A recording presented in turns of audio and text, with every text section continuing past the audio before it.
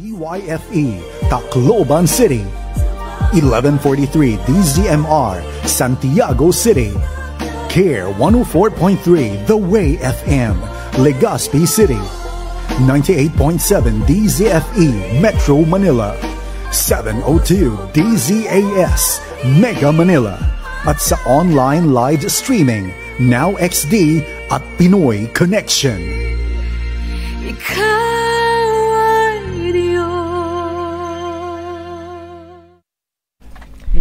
Time check, 11 o'clock in the morning. Pagtuturong may kahusayan at sigla. Linangin ang iyong kaalaman at kakayahan sa pagtuturo. Humugot ng lakas at motibasyon sa pag-abot sa mag-aaral. Maging inspiradong guro kasama sina Teacher Zaisel Mike at Teacher Gretchen Nokos.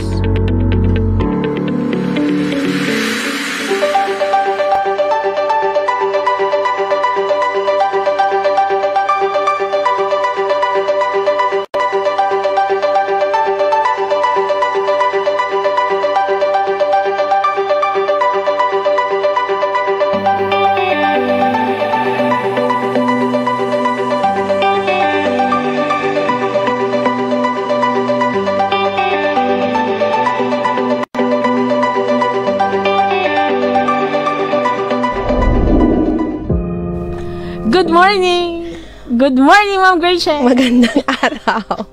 Good morning, Good mga morning. teachers! Hello po sa inyo! Buhay na buhay ang ating mga teachers ngayon Oo, kahit linggo. Hello, hello, hello! Hello. Panglima na! Oo nga, ang bilis ng panahon. Konti na lang graduation Oo. na. Konti na lang po. At nakakatuwa kasi ano ma'am, nakaka-bless tong ating ah, ginawa ngayon sa webinar no. Kasi ano, ang DepEd ay naghahanap ng mga teacher broadcasters. Oo, dalawa na very nga pangalan niyo eh, no? Very timely Oo, talaga. oo, go na, mag-audition na kayo. Mm-mm. Mga teacher broadcasters. Hello po sa lahat ng mga nakikinig sa radio, mga listeners natin sa radio. Alam ko yan si Kuya Eddie, nandyan yan Oo forever. Hello Kuya Eddie. Ah, mga nanonood po ng YouTube live Mm-mm. stream at YouTube, ah, YouTube at saka Facebook. Facebook. Ah, oo. Opo. Kasi parang mag-live ata tayo ngayon sa YouTube, na? Batiin ko lang uli si Kuya Eddie. Oo. Kasi ano, inad niya ako as friend last week pa ata. Ah. Opo, salamat po Kuya Eddie. Naku, mahal natin yan si Kuya Eddie. Oo. Tapos, ah, ang keyword po natin ngayong linggo ay tatlo. Oh, keyword kagad. Tatlo. Tatlo, malupit. Tatlo. Ang Opo. unang keyword ay magayon. Magayon kami. Magayon lang. Hanggang magayon lang. Baka hindi nila alam yung ibig sabihin ng word na magayon. from, Magayon, uh, tignan nyo lang ako. ah, Ang ibig magayon sabihin, means maganda. maganda. That maganda was, sa ano, Bicol. Portrayed by our ano Mayon volcano. Yes. Yan po para sa mga listeners natin from different places Oo. na ano po hindi alam yung word na magayon. So, ang keyword natin ngayon ay Bicolanong word, no? Yes, Magayon. wow. Okay, tatlo yan ha. Tata antarin niyo yung tatlo. Okay, so ano pa ba? Ah, doon sa mga nagtatanong, siguro umpisahan ko na, no?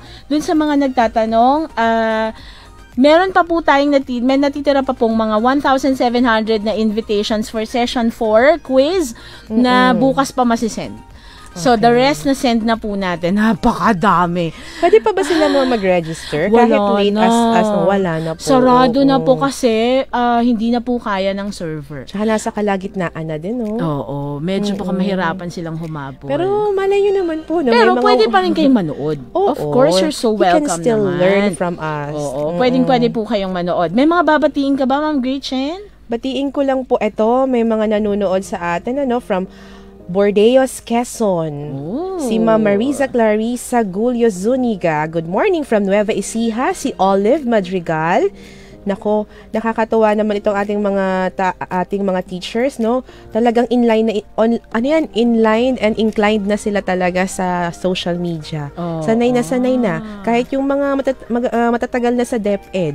Andiyan si Ma'am Jo. Dizon from Sydney, Australia. Wow! Wow, Okay, hello, ma'am. Hello po sa panonood. Anong oras po sa Australia ngayon? Ah, so today, ang topic po natin ay audience engagement. Okay? Yes, So, mahalaga paano to. ba natin i-engage ang ating audience? Okay. So, siguro, umpisahan na po natin sa prayer.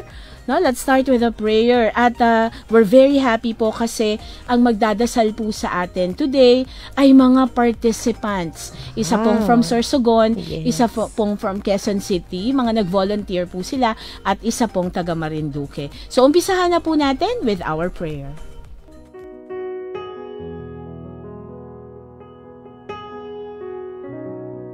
Yes, Lord, we are so thankful sa araw na ito. Salamat po sa katagumpayan sa unang apat na session ng webinar namin. Tunay nga po, Panginoon, na pinagpala mo ang bawat isa. Napakasagana po ang iyong habag at napakadakila ang iyong pag-ibig. To start this fifth session of Inspiradong Guro webinar, patuloy po kaming humihingi ng forgiveness sa lahat ng aming mga kasalanan sa salita, isip at gawa. Panginoon, ikaw po ang manguna sa webinar na ito. Bigyan niyo po, Panginoon, ng wisdom and knowledge ang bawat isa. Ang lahat po ng nakikibahagi sa gawain ito, especially po ang speaker namin. Gamitin mo po siya effectively at pagpalain abundantly. Maging sa lahat po ng aming mga natutunan ay patuloy po namin itong magamit, lalong-lalong na, na po sa sitwasyon ngayon. Kami po ay nagtitiwala sa kapangyarihan mo, O Diyos, na magiging matagumpay ang school year na ito at sa mga susunod pa. Maging sa buhay po ni Mom Zaz and Mom Gretchen, continue to bless them, Lord, at sa lahat po ng bumubuo ng Inspiradong Guro at ang Care 104.3 The Way FM. Continue to use them as an instrument to inspire people. In Jesus' mighty name we pray. Amen.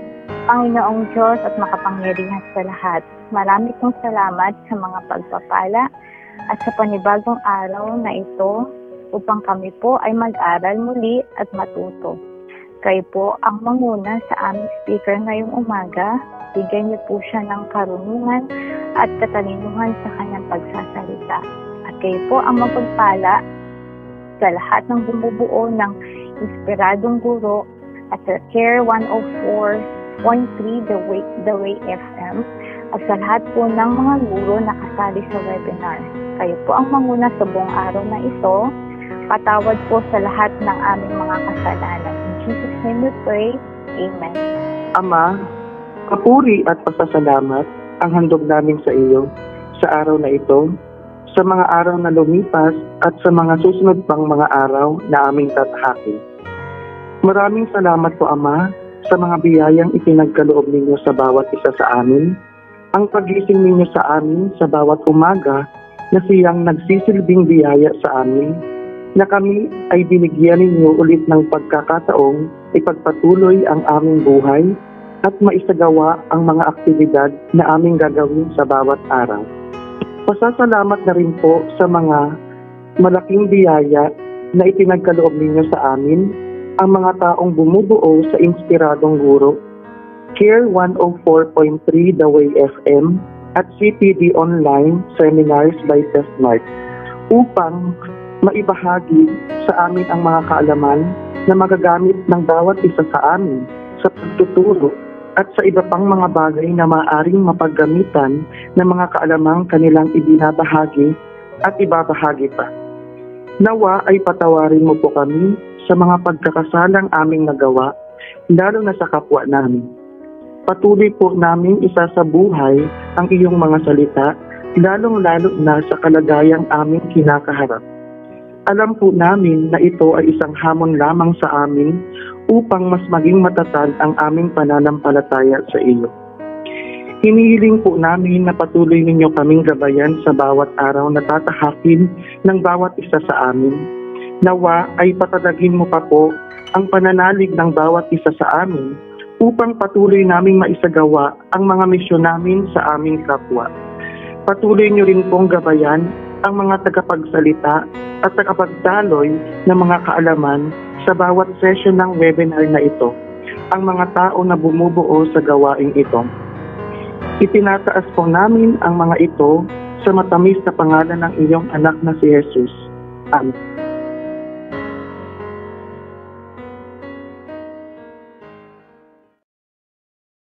Salamat sa ating tatlong participants. Participants po sila dito sa ating webinar at sila ay ah, Yes. nag-volunteer na magdasal That for was us. truly powerful. Oo, Wow, si Sir, si.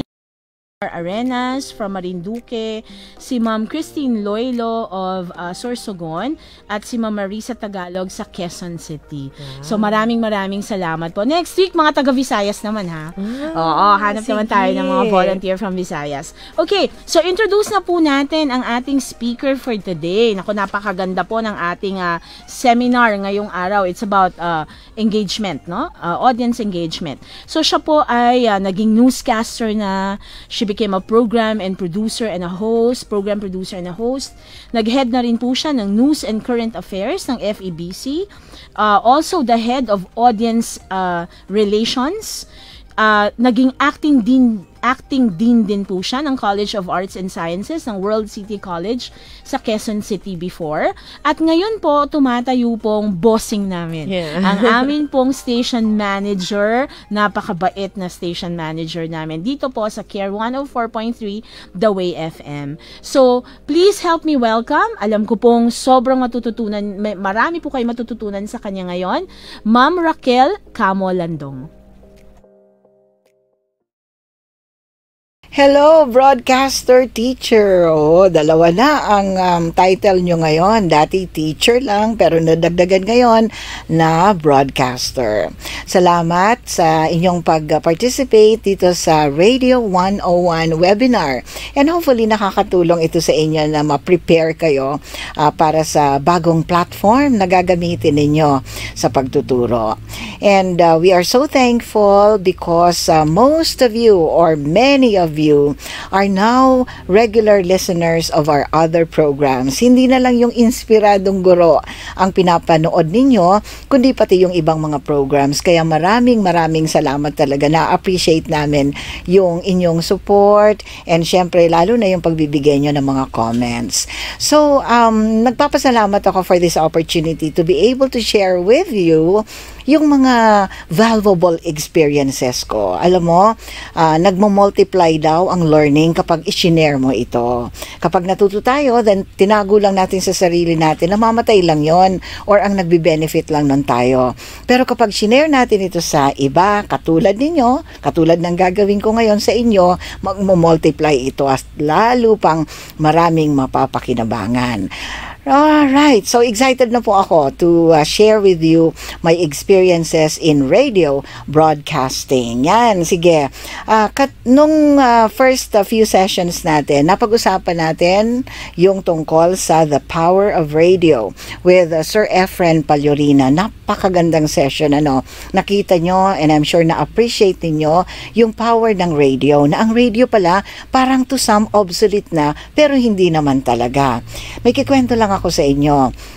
After uh, 15 years of being in radio, umalis muna ako kasi syempre ako ay uh, nagbuntis muna, nag-alaga ng anak.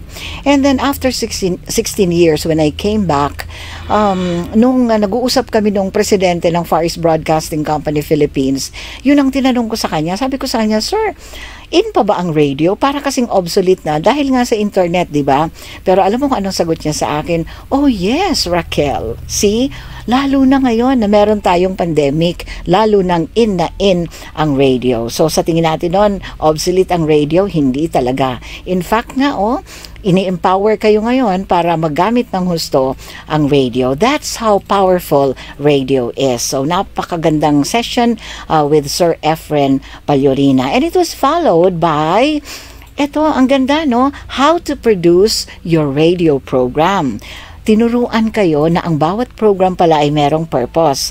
Ang bawat program pala ay merong intended audience. Napaka uh, magandang pag-isipan nyo talaga kung sino itong intended audience ninyo at kung ano ang inyong purpose while you're doing the program. And last week, you had Writing for Radio naman kasama ang program supervisor ng CARE 104.3 DWAY-FM, si Ma'am Cecil Amog. Very practical yung itinuro niya sa inyo kasi kakailanganan nyo yon as you produce your uh, material for radio. And syempre, kailangan yung skill natin sa writing para mas organized ang thoughts natin, para mas ma-present natin ng mabuti ang inyong message.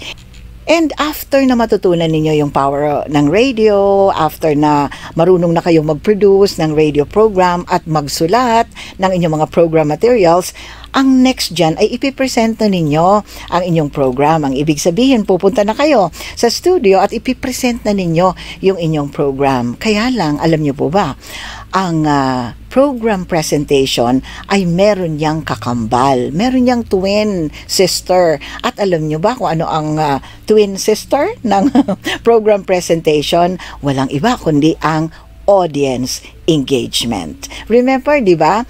Sa umpisa pa lang, you were taught na ang bawat program na pinoproduce ninyo should have an intended audience and it should have a purpose. Now, paano mo malalaman na successful yung purpose ng pag-produce mo ng program kung walang audience engagement? So today, let's learn about audience engagement.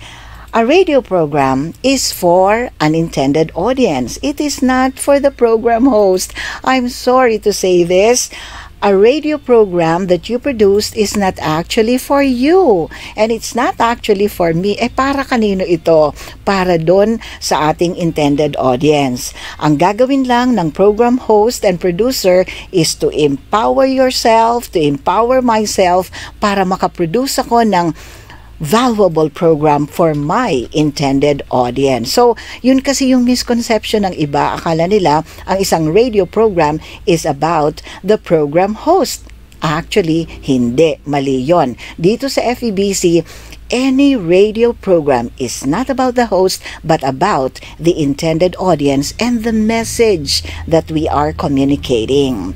So, ito, may test muna tayo. Tingnan nga natin I would like you to be very honest as you answer each question kasi makakatulong ito sa inyo. Titingnan natin ngayon kung engaging ba ang personality mo o hindi.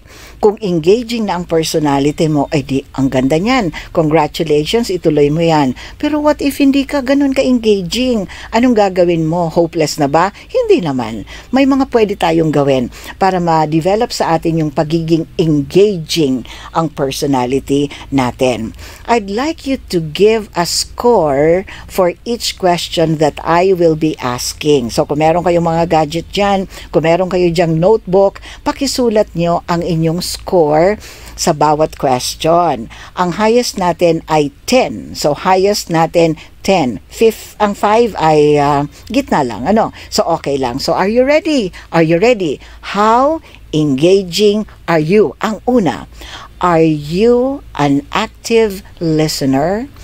Dalawa ang klase ng listeners. Alam natin yan, di ba? Alam nyo yan. Meron tayong tinatawag na passive listener.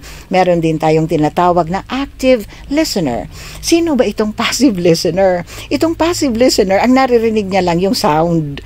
Hindi niya naiintindihan yung meaning or hindi niya talaga iniintindi yung message na kino-communicate ng isang tao. Ito yung klase ng listener na pag tinanong mo, uy, anong masasabi mo? Doon sa sinabi ko, ang sasabihin, ah, ano nga ba yun? Sige nga, pakiulit. Naku, alam natin na hindi siya active listener siya ay passive listener. Now, ano naman itong active listener?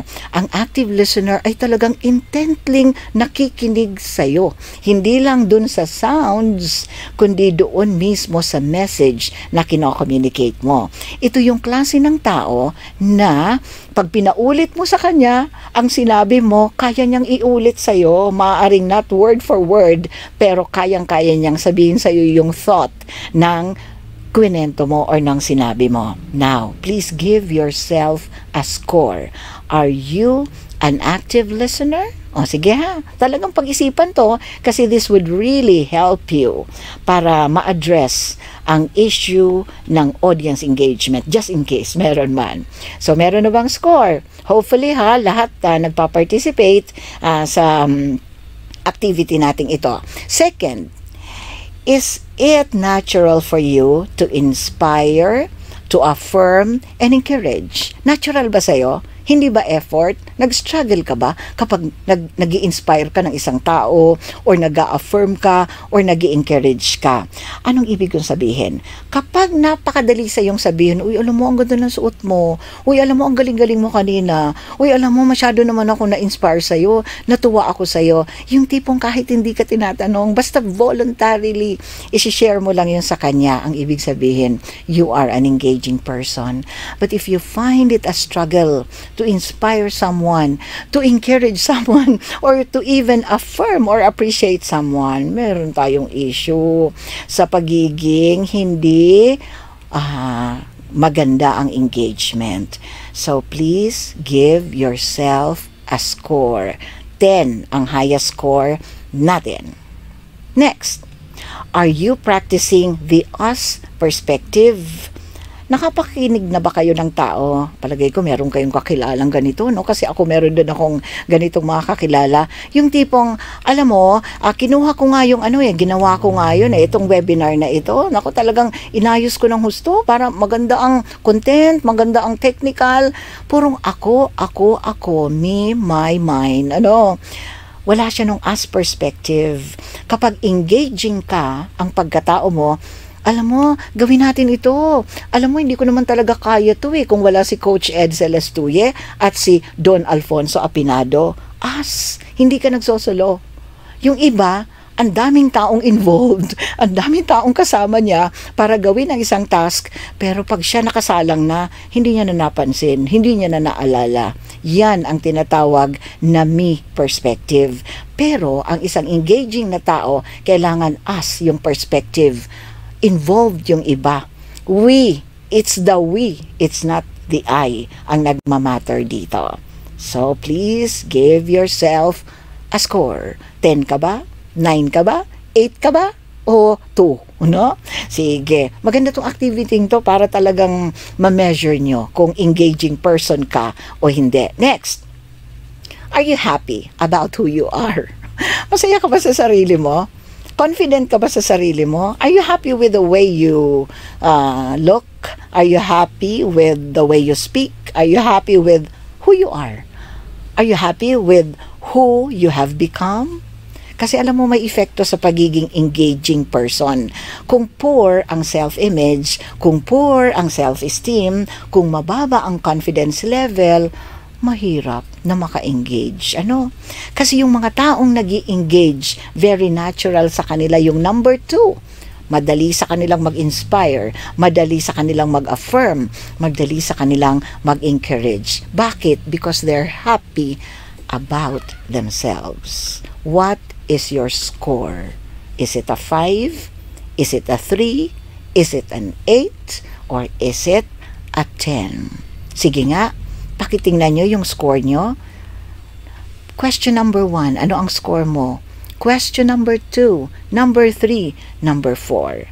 Alam mo, ito, sarili ko lang tong pananaw, no? Kapag bawat score, nakakakuha ka ng uh, number na 8 pataas, you are an engaging person. Congratulations!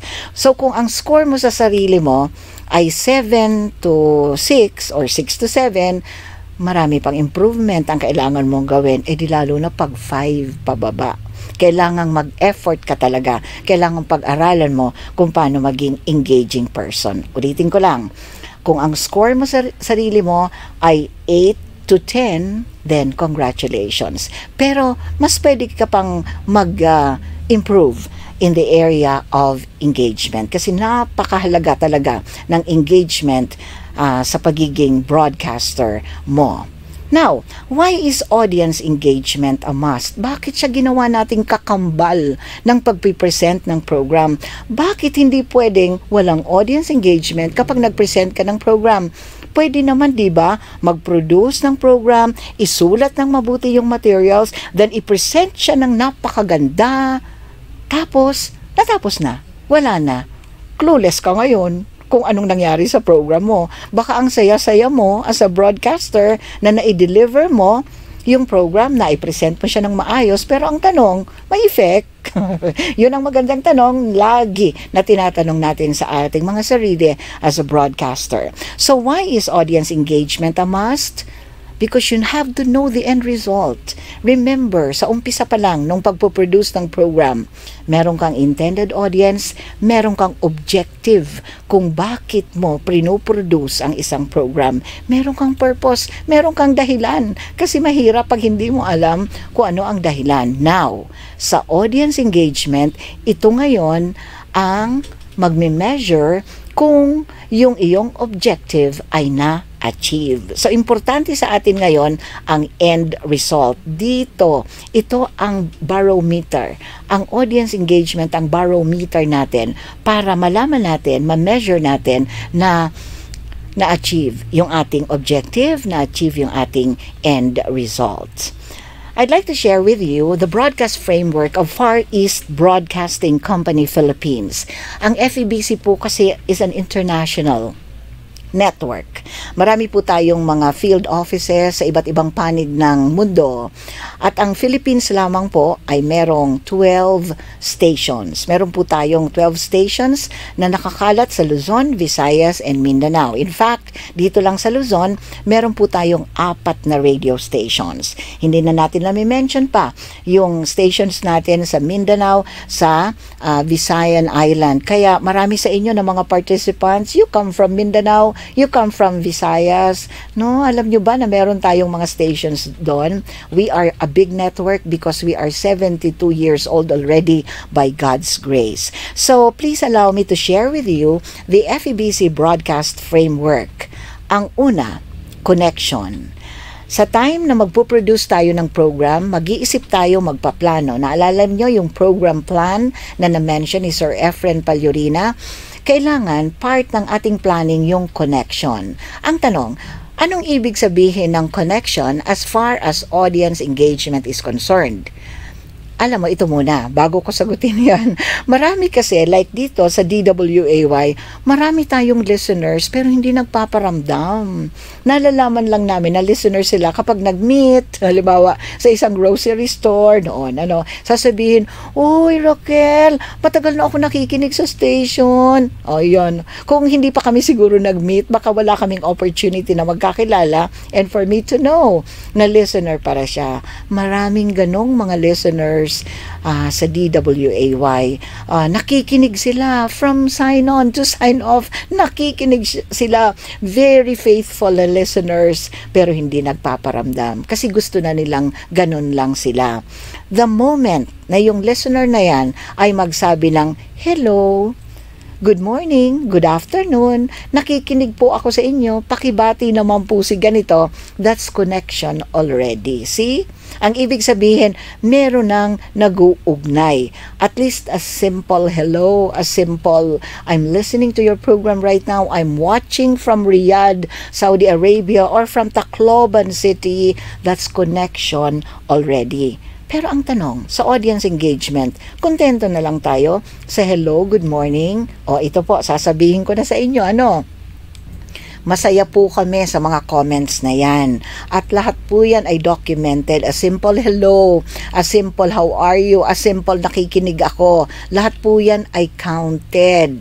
Lahat po yan kasi every month meron po kaming pinoproduce na report papunta sa FEBC Philippines muna and then uh, lahat ng audience engagement ng FEBC Philippines pinapadala naman yan sa FEBC International. Now, um, Masaya na po kami doon sa mga uh, hello, how are you, nakikinig kami. Pero kami po ay meron pang mas gusto sanang marinig from you. Ito po ang conversation. Nung Thursday, ang aming topic sa isa kong program, yung Buhay Pamilya, is about, was about the godly character qualities. And we learn from that episode, I learned from that episode, na ang punctuality pala is a godly character. Sa akin, it was a revelation. Tingnan mo, di ba? Host na ako, producer na ako ng program na yon, And I learned a lot from the material. I learned that punctuality is a godly character quality. marami ang nag-respond. Ayan, si Teacher Zell, Mike, isa yan sa nagbigay ng comments. Kapag sinabi nung listener na yon or nung viewer sa ating FB Live at sa ating YouTube channel, kapag sinabi niyang, nakaka-relate ako sa pinag-uusapan nyo, dati, uh, lagi akong late pero ngayon hindi na talaga ako kasi na-realize ko ganyan nakita nyo so anong pagkakaiba kesa dun sa connection the engagement has become deeper kasi nagko-converse na, nagpapalitan na ngayon ng mga insights, ng mga thoughts, 'di ba? Yung audience at yung host. So, may conversation na. Pero sa audience engagement, ito talaga ang hinahanap natin. Call to action.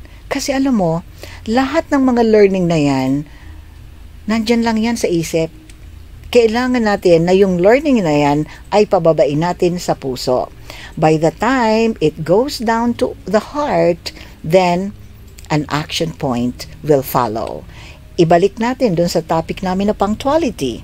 Punctuality is a godly character. Sabi ng listener, napakaganda po ng topic ninyo. That's connection. Sabi ng isang listener at uh, viewer, grabe po, may problema po ako dyan sa punctuality. Nahihiya nga po ako kasi lagi po akong late. Ewan ko nga po ba, hindi ko talaga na manage ang time ko kaya lagi po akong late sa meetings at sa iba ko pang appointment. That's conversation.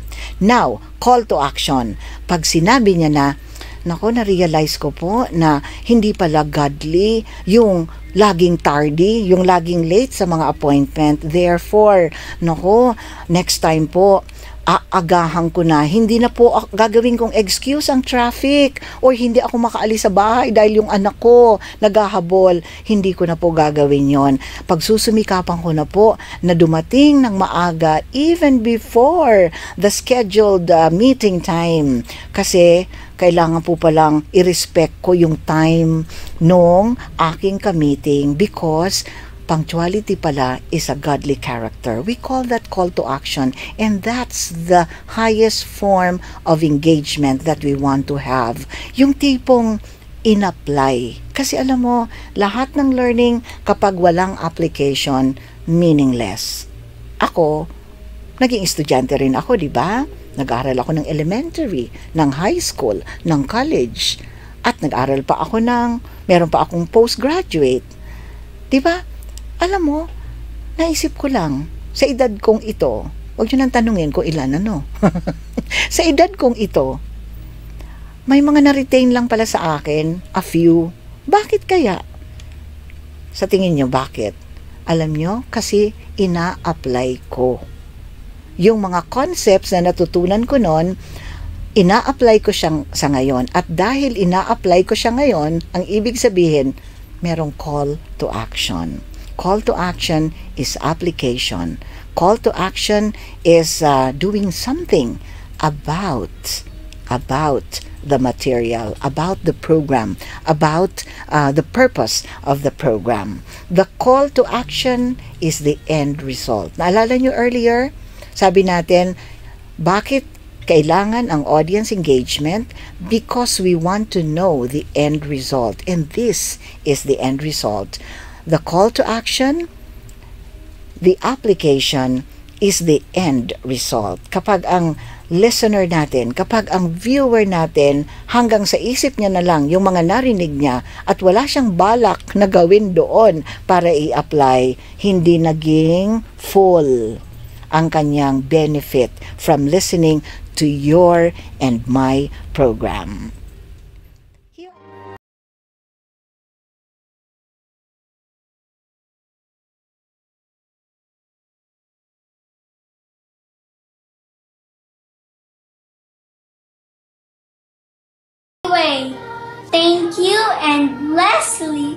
For being a constant source of inspiration to all avid listeners like me and my family, especially during this pandemic crisis. Keep serving the Lord faithfully. Keep inspiring a lot of people. Keep the red light on. We love you. Love, Miss Aldrich Mayor. Thank you, Reese, for this touching letter. Indeed, let us hashtag keep the red light on.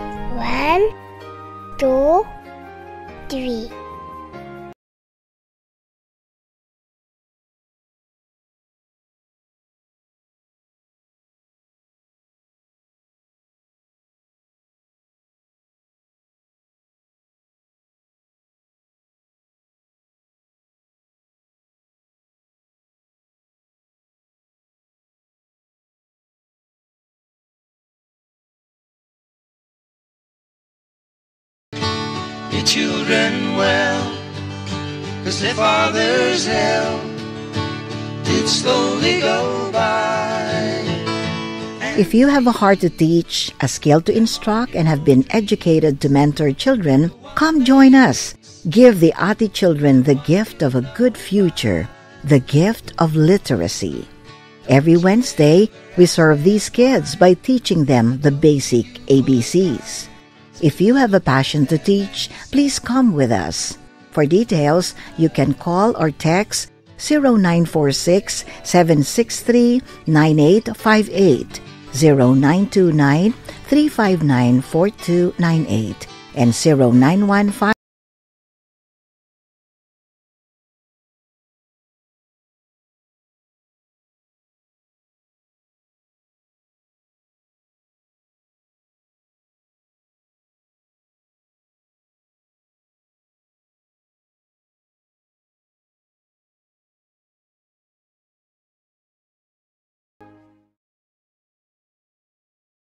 Here are the elements of audience engagement. Meron akong tatlo na gustong i-share sa inyo. Ang una, The Voice. Grabe ang comments nyo. Kay Sir Efren Paliorina, the first time he spoke about the power of radio. Most of you affirmed his beautiful and soothing voice. Na-appreciate nyo talaga yung voice niya, di ba? Alam nyo, sa radio, wala tayong ibang gagamitin kundi voice. Kaya galingan na natin sa ating voice. Ang tanong, what if hindi talaga pleasing ang voice ko? What if ang voice ko hindi talaga pang radio? Anong gagawin ko ngayon? Ay, huwag kang mag-alala. May pwede tayong gawin dyan. May pwede tayong uh, pag-aralan para magamit mo ng husto ang iyong voice. So, mag-share ako sa inyo ng ilang tips para maging pleasing ang voice mo na ang sarap pakinggan sa radio. Ang una, let your voice be natural. Use your own voice. Do not borrow another person's voice. Pag ginamit mo yan, baka hindi mo yan kayang isustain. Baka kaya mo lang yan sa isang episode, dalawang episode ng pagpo-program mo. Pag tumagal, wala. Babalik ka rin sa dati. So might as well, as you are starting as a broadcaster, use your natural voice. Kung ano yan, yan na yan. Natutuwa po ako, no? Sasabihin ko ito sa inyo, hindi para hindi para i-affirm ang sarili ko. Pero ito lang kasi yung naiisip ko lang talagang example. We went to Ticao Island, Masbate. Nandun na kami sa boat. And then, may mga kasama po kami from uh, our main office in Ortigas para mag-shoot ng mga testimonies ng mga listeners natin doon sa Ticao Island sa Masbate. So, we were talking, ano, yung mga kasama namin, nag-usap-usap kami. Tapos, merong isang babae sa likod na may kargang anak. Sabi sa akin, ikaw po ba si Ate Raquel Landong? Sabi ko, eh di nagulat ako, hindi ko siya nasagot agad na, ay oo, hindi ko kaagad siya na- nasagot kasi nagulat ako, parang paano niya ako nakilala? Sabi ko, ang unang sinabi ko sa kanya, paano mo nalaman na ako si Raquel? Kasi po, nakikinig ako sa station ninyo at ganyan na ganyan po ang boses mo. See, di ba? So, natural voice. Ang ibig sabihin kapag natural ang voice na ginamit mo sa radio, kahit na saan ka, yan yung boses mo at makikilala na ikaw yan. Ikaw yan. Kasi natural ang voice mo, hindi borrowed. So, the best voice, the most beautiful voice is your natural voice. Please remember that. Next, kailangan warm. Radio tayo eh. Kailangan warm. Hindi provocative. Hindi yung iritadong tunog. Hindi yung, ay grabe, parang, um, parang galit na galit sa mundo dahil sa COVID-19. No? Kailangan warm engaging ang voice. Alam mo yon di ba? Kasi radio lang tayo, so kailangan sa voice pa lang natin, nag engage na tayo. Next, kailangan confident ang voice natin. Ala, baka patayan tayo ng, ah, ng radio or ng cellphone kapag hindi tayo confident. Ano ba naman tong taong to? Ano ba naman tong announcer na to? Broadcaster, parang hindi naman alam ang sinasabi niya. Hindi man lang siya hiyang-hiya naman sa sinasabi niya. Hindi maganda yon. Remember, radio lang tayo. Hindi nila nakikita ang ating itsura, di ba? So, sound confident. Pwede yun eh. Pwedeng mag-sound confident. Pero, pwede rin kasi na sound timid. Di ba? Sound aloof. Sound, um, ano ba yon Ah, hindi maganda ang self-image, pwede yun eh. Pwede natin yung ma-project kahit sa radio lang through our voice. Next, relaxed ang voice. Relaxed. Yung tipong nakikinig naman ay hindi na i-stress, hindi aatakihin sa puso, hindi tataas ang blood pressure kasi relax na relax siya.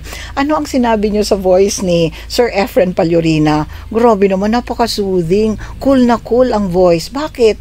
Because Sir Efren was so relaxed. Ganun. Ganun po si Sir Efren. On the air, off the air, ganun siya magsalita. I've known him for many years already, decades in fact, kasi siya po ang matagal kong boss.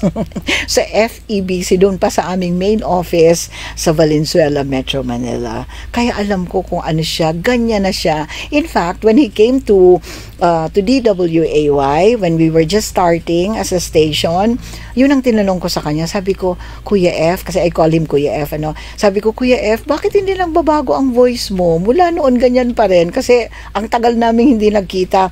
Sabi niya ganon, eh, Rax, kasi this is my natural voice. O, di ba? So, kaya ganon.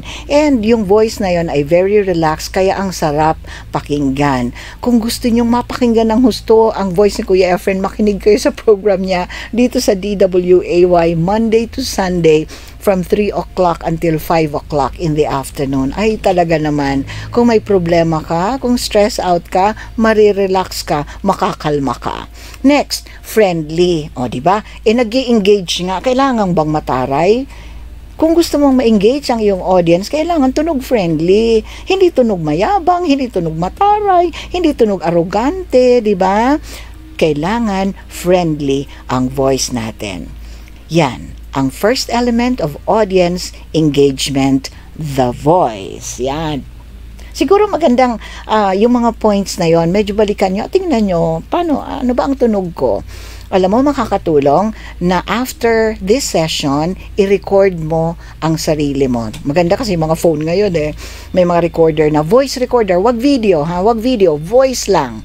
Pwede bang i-record mo ang sarili mo and allow someone to listen to your recording and then sabihin mo sa kanya, pwede ba sabihin mo sa akin ng totoo? You know what ang hahanapin mo? Best friend mo. Kasi yung best friend mo, magsasabi yan sa'yo ng totoo. Ano?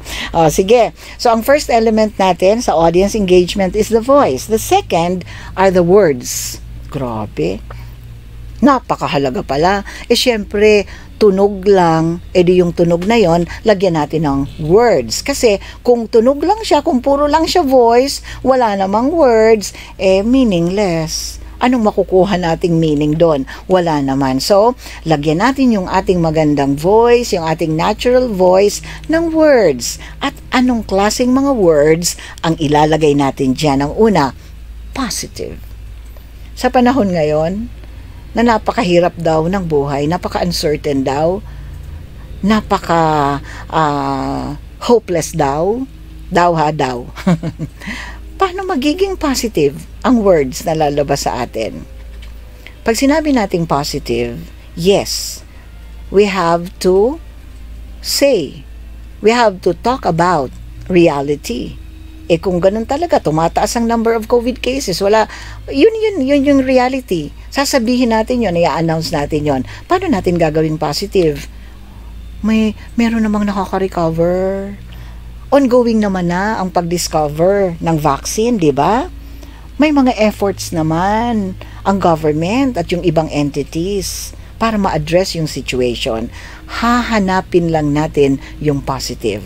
As broadcaster, as broadcaster, kailangan na wag lang yung puro negative. Masakit sa ulo yon, masakit sa tenga, lalo na mabigat sa puso hanapin ang mga positive no matter how bad the situation is, no matter how bleak the future is, no matter how negative the news item is. Hanapin doon ang positive at mag-end on a positive note. I'm not saying na i-deny natin, hindi i-recognize ang totoo, yes, kailangan. Kasi kailangan nakakonect tayo eh sa nangyayari ngayon. But we have to you know, get the positive out of the negative. So, our words should be positive. Pangalawa, our words should be organized. Kaya nga tinuruan kayo tungkol sa radio writing for radio. Bakit? Kasi kailangang organized ang ating thoughts. Mahirap ano, na makinig sa isang broadcaster sa radio lang, na boses lang ang naririnig mo, hindi pa organized ang thoughts niya. Sabog-sabog. Ang hirap nun, ang gulo, ang, ang sakit sa ulo, no? At masakit sa dibdib. So, organize your thoughts. You know what? Organize your words by applying what you learned in writing for radio. Yan yung last uh, week session ninyo. So, organize your words, organize your words. Before you go on the air, organize your words, plan what you're going to say. Next, be sensible. ano ba itong pagiging sensible? Ito yung, alam mo yon yung practical ka naman, functional ka naman, may wisdom, no? Sensible eh, may wisdom. Yung parang hindi naman out of this world ang ating mga insight, ang ating mga thoughts, sensible naman, totoo naman, nakaapak naman sa lupa, 'di ba? Nakatungtong naman uh, sa ground ang ating mga paa. Ibig sabihin, yung reality, alam natin, sensible. Yun yun. Pero merong wisdom. Next, depth. You know what? As broadcaster, you have to empower yourself. Read a lot. Listen uh, to so many um, mga uh, materials na mapapakinabangan mo. Manood sa mga video na mapapakinabangan mo. Laliman mo ang iyong depth. Alam mo kung bakit? Kasi pag hindi mo nilaliman, sayang ng radio time mo sayang ng opportunity na on the air ka na, ang dami sa iyong nakikinig, pero ang babaw lang. Laliman natin. Huwag naman nating i-short change yung ating audience na nag-a-allot ng time, ng kanilang precious time to listen to us. Tapos wala namang nakuha from us. Ang babaw lang. Baka ang sasabihin lang nila, sayang, sana hindi na lang ako nanood or sana hindi na lang ako nakinig sa kanila. Sayang lang nung oras ko. Alam mo yon Yan yung mga comments na ayaw nating marinig as a radio broadcaster. So, paano magkakaroon ng depth, ng lalim? Mag-aral, mag-aral, at mag-aral. Yan. Bring hope always. As FEBC, ang dulo ng lahat ng ito ay laging hope. Laging may hope. Hindi pwedeng matapos ang aming mga program na walang hope. Kung mapapansin nyo yan, if you've been a listener of this station, mapapansin mo na pinag-uusapan ng hindi magaganda, pero, pero, tayo po ay laging nag-highlight sa dulo ng pag-asa. And that hope can only come from Jesus Christ. And syempre ito, balanced. Syempre naman ayaw natin na one-sided lang. Ayaw natin na ito lang opinion ang um, ine-express natin on the air. Kailangan yung two sides of the coin, di ba? Ipipresent natin yan. And most of the time, most of the time, uh, hindi tayo magbibigay ng ating uh, opinion sa isang isyong yan. But, ito po ang difference if you are from FEBC. Kami po ay nagbibigay ng stand. Ano ang basis ng aming stand? The Bible. Because ang mandate ng Far East Broadcasting Company is to communicate Christ and we believe that the Bible is the Word of God. Therefore sa amin, binabalanse namin ang lahat ng yan at ang aming standard is the Word of God. Yun yung aming final authority. Kung magbibigay man kami ng opinion, hindi namin opinion yon. Based yon on the Word of God, which is our standard. Yan. And siyempre, sincere. Ang words natin ay sincere. Hindi vindictive, hindi judgmental, hindi provocative, sincere. Yung care mo sa yung audience, sa mga nakikinig sa'yo, kailangan sincere yon At yung sincerity mong yon as a broadcaster, kailangang madama. Ito lang ang key.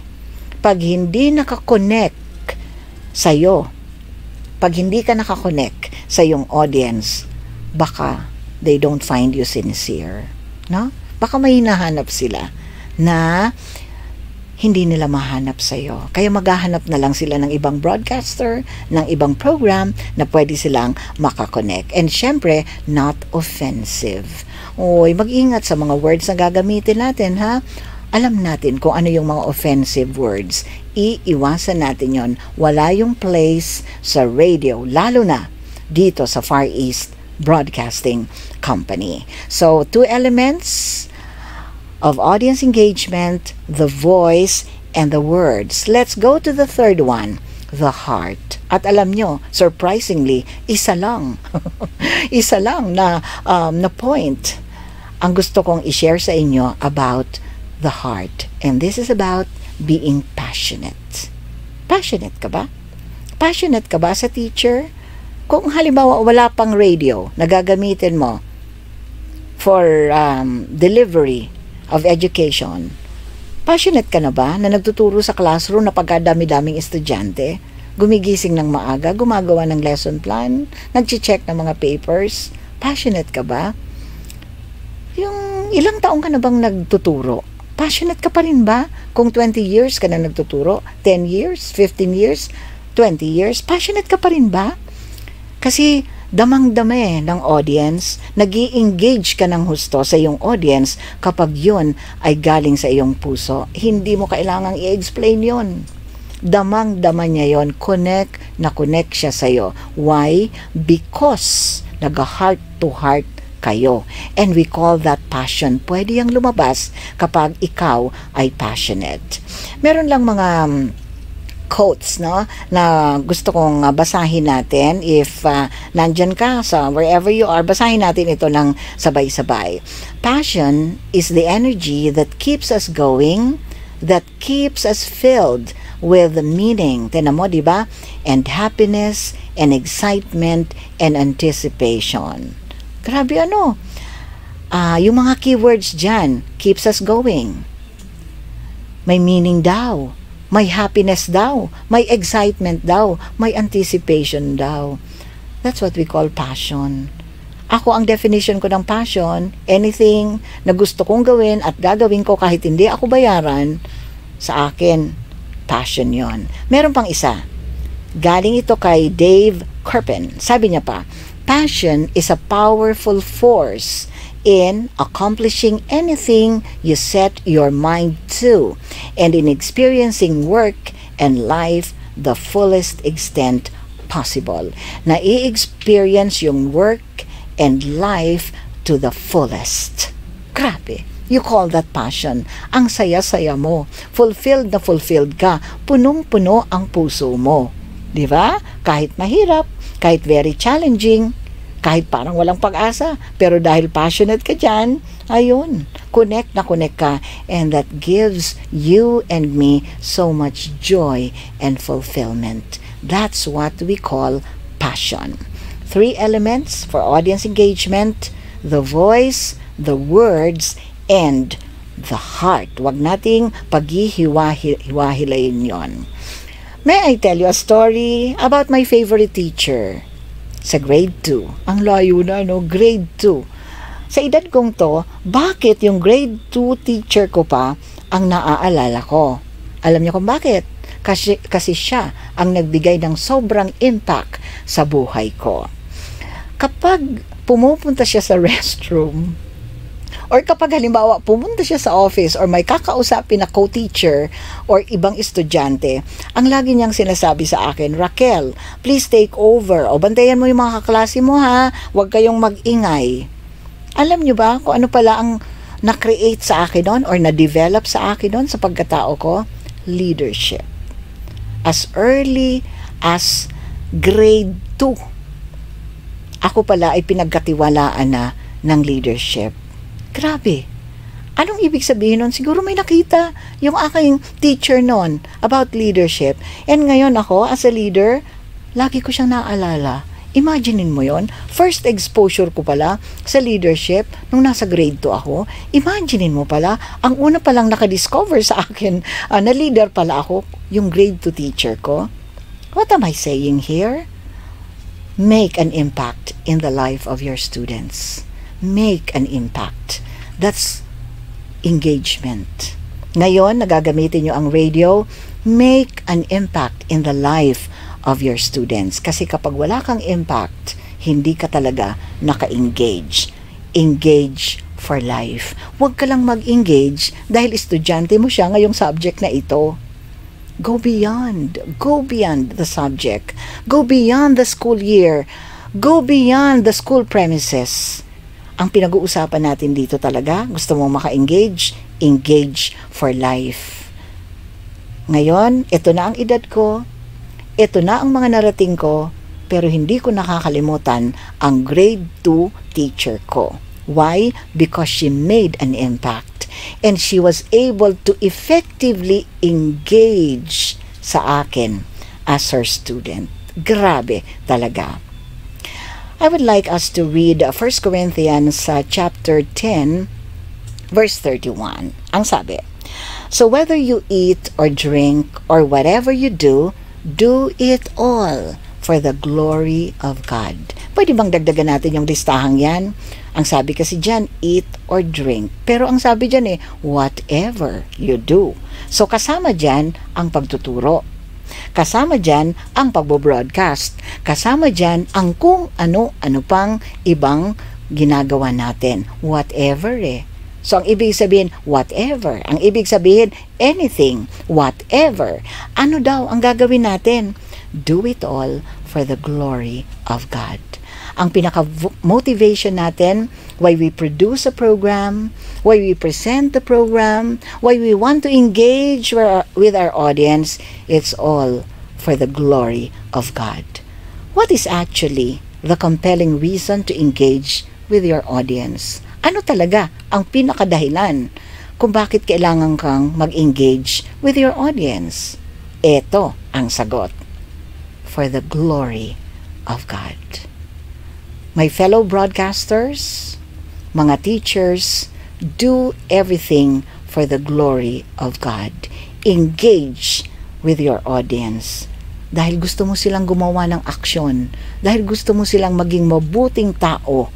Maging mabuting mamamayan ng Pilipinas at ng buong mundo. At lalo't higit, isang tao na may takot at magmamahal at maglilingkod sa ating Panginoong Heso Kristo. Thank you, everybody. God bless you all. Another session done. Wow, tapos na pala. Nakakatuwa, no? Nakakatuwa yung mga comments. Yung pinabasa Opo. din po namin yung comments. Yung talagang sinabi niyo si ma'am, parang si Charo Santos. Tsaka si Helen At saka si Helen Vela. O, di ba na nabasa namin? Uh-uh. Uh, a few things, no? Nakakatuwa ramdam na ramdam mo talaga yung passion ni Ma'am Raquel Mm-mm. doon sa kanyang profession. Which is, kasama din talaga, in a way, we're also broadcasting and we're also teaching, you know, on air talaga. Ah, ah, kamusta Ma'am Gretch? Sa mga nagtatanong po doon sa ano, sa kung paano mag apply for teacher broadcaster, si Ma'am Zel po, ayan, i-inform na lang po niya kayo mamaya. Sa akin po, three words na nakakatuwang ah, wag natin makalimutan ngayon sa ating session. It's voice, words, and heart. Yes. Ayan. Speaking of heart, heart po yung second uh, keyword. Okay. lista so, ko na. Our second keyword is heart. Speaking of heart. Okay? Oo. Tapos, siguro a few things, no? Bago po tayo, hindi po kami makakatawag today kasi kita nyo naman kulang tayo sa oras, no? Opo. Pero gusto talaga po gusto namin. talaga namin kayo matawagan. Mm-mm. Next week po namin kayo tatawagan. May nagtatanong dito, how can we know if our audience is listening if we cannot see them in radio? Kami po, ginagamit namin yung text. No? Oo. So, pwede po natin gamitin yung text. Kung pwedeng magpa-text tayo sa mga bata, no? That's our way. At saka may sabi siya doon na call to action eh. So, ibig sabihin, kung may ginagawa yung bata, ibig sabihin nakikinig yun. Yung output Kasi niya. may ginagawa siya, no? So, pwede po natin gamitin yan. Tapos, sabi din dito, how to teach in time of pandemic sa Santo Domingo. Actually, hindi po kami nagtuturo ngayon. Ang target po namin is maayos yung bahay. Kasi wala po siyang bintana pa, wala pa siyang kuryente. So, habang may pandemic, linis, aayusin na yung bahay, no? Opo. Yun yun yung target po namin. And then, yun, nasabi na, no, yung sa teacher broadcaster, ipopost po namin sa Inspiradong Guro, no, na page. Dito din po sa Care 104.3 The Way FM, yung link para po ah, makuha ninyo, no? If in case gusto nyo pong maging teacher broadcaster. naman. Oo. So, we would love to hear your comments. I-comments nyo lang po ano yung reaction nyo doon sa sa seminar. Tapos, um, konti na lang. Ah, bago tayo mag-teacher's takeaway, ipaalala ko lang po na una, ah, isa na lang pong email ang aantayin ninyo. We're going to do a new system. We'll explain it na lang on air, no? And second, meron pong bagong program sa CPD online seminars, no? If you'd like, it's super cheap, no? So, doon na lang po kayo mag-check, no? Ah, for those na kailangan mag-aral paano magpabasa. Okay? So, may bago pong program doon. Okay. So, siguro hanggang doon tayo. ah, bigay na po natin kay Ma'am Gretchen para sa kanyang teacher's takeaway.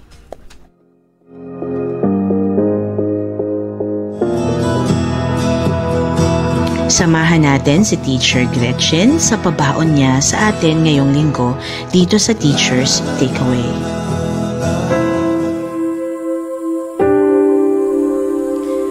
Muli ay magandang umaga sa lahat ng ating mga guro, sa lahat po ng nakikinig sa ating estasyon.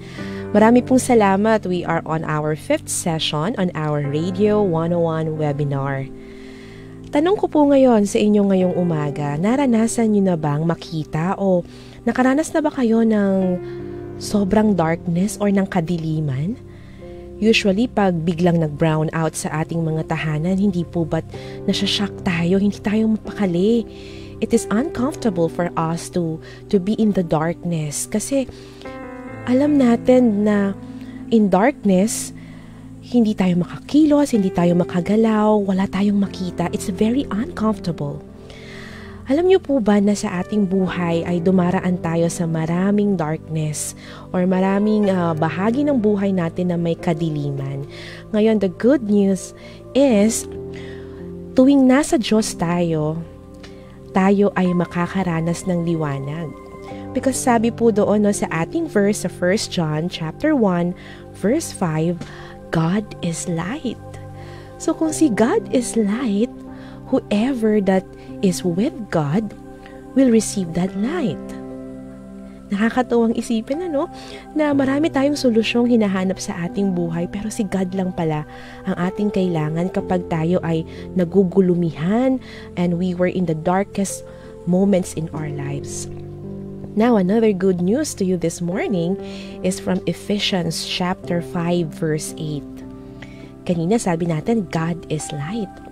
Ngayon naman, sabi sa Ephesians chapter 5 verse 8, If you were formerly darkness, but now you are in the light, walk as children of light.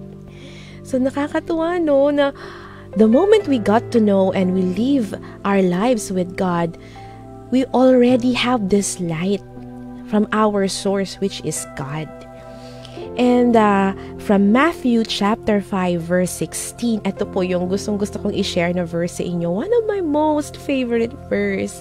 Sabi doon, Now that you have the light, then let your light shine before others that they may see your good deeds and glorify your Father in heaven. Alam niyo po, you can be a light in these darkest moments in our lives you can be a light to people na nangangailangan ng hope. You can be a light to people na nafo-forgot na kung paano maging passionate sa pagtuturo, maging passionate sa life. You know, I'm so happy and glad to tell you that teachers, listeners, you can be a light in this darkness, in this world. So sana patuloy po tayong magliwanag.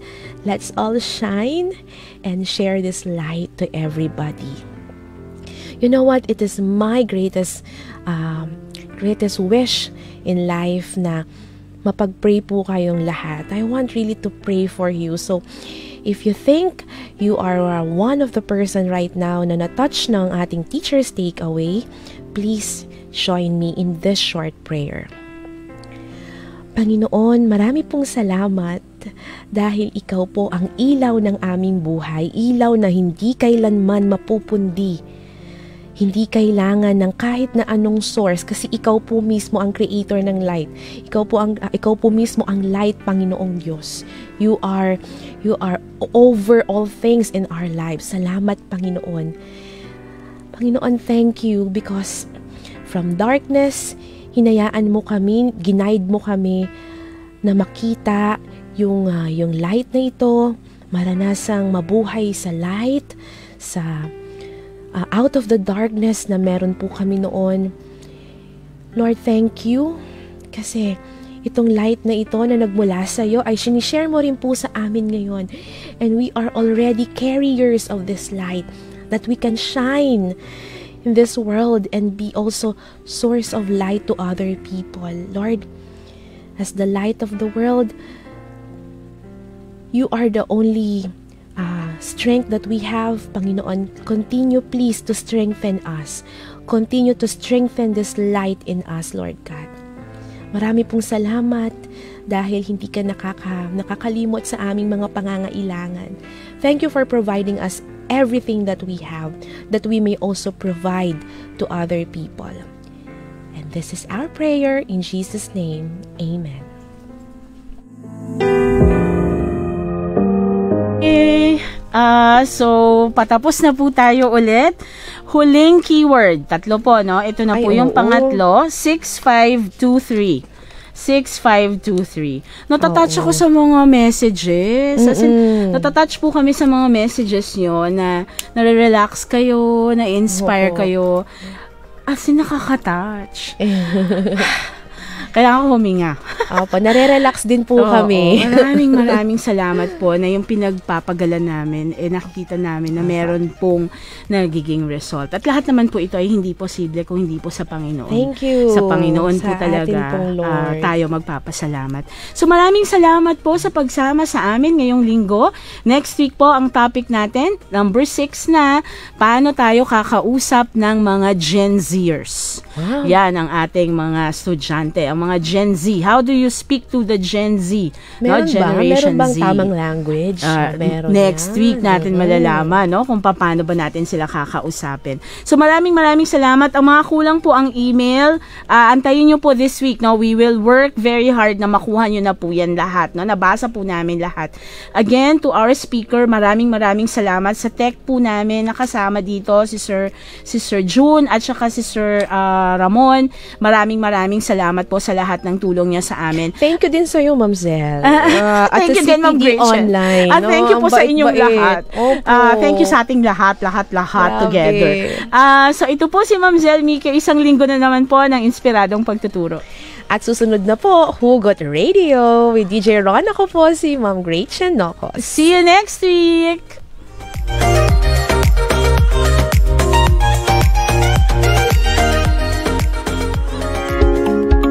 Narinig mo ang inspiradong pagtalakay ni Teacher Zaisel Mike at Teacher Gretchen Nokos patungkol sa pagtuturo.